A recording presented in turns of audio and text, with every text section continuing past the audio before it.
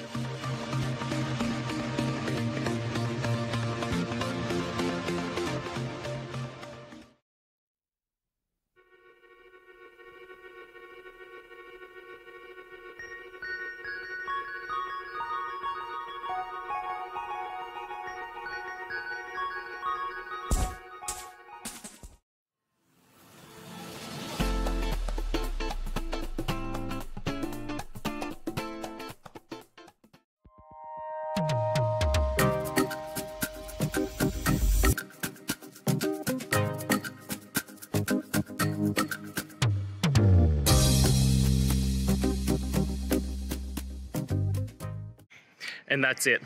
I hope that that's helped find the solution that you're looking for. And if it did, please, I'd appreciate it if you hit the subscribe button. Every time you hit it, it really helps. Now, I'll see you next time, next time you need some technical help. And until then, have a good one.